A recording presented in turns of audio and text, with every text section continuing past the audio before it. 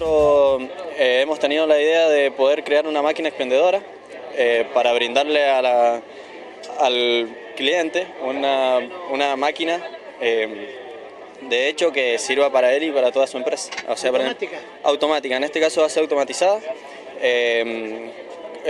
Cuen- conta de cuatro, cuatro, cuatro motores. Eh, a las convencionales que utilizan 5 o 6, nosotros hemos, hemos achicado costos y hemos introducido esos movimientos. Bueno, como pueden ver, si se acercan por acá, podemos ver los espirales que en su interior se depositan los productos que vamos a, a expander, que a través de los mecanismos, eh, mecanismo vertical, horizontal, eh, podemos hacer el funcionamiento de estos espirales. eh, eh, dándole la forma. La. Claro, que van acercando la mercadería y girándola mm, de forma progresiva hasta, hasta entregar el producto al cliente.